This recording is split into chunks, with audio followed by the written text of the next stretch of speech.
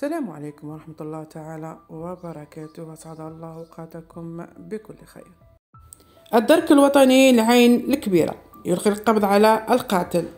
تمكنت أفراد فرقة الدرك الوطني العين الكبيرة ليلة أمس في ظرف وجز وبعد ساعات قليلة من وقوع الجريمة من إلقاء القبض على الجاني المتورط في جريمة قتل الشاب المغدور هشام حراد. الله يرحمه ويجعله من أهل الجنة يا رب العالمين.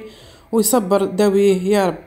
التي وقعت مساء أمس بحي 200 مسكن بعين الكبيرة حيث ألقى عليه القبض بدوار بورغازن الذي يقطن به والمجاور لحي عين خريب الذي يقطن به الضحية.